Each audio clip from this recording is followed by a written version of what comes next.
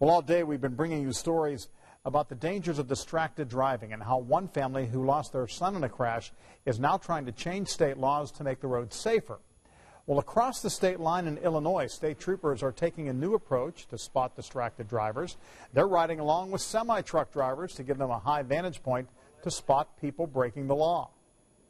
But when we see them actually going down the road like this, interacting, we know that they're communicating with their electronic device. Yeah, they call it the Trooper in a Truck program, and within the first few hours, they ticketed more than a dozen drivers. And be sure to watch our special report on how a Greenwood couple wants to toughen laws on distracted driving after their son was killed in a crash about two years ago. Just click on our story called Living for Logan.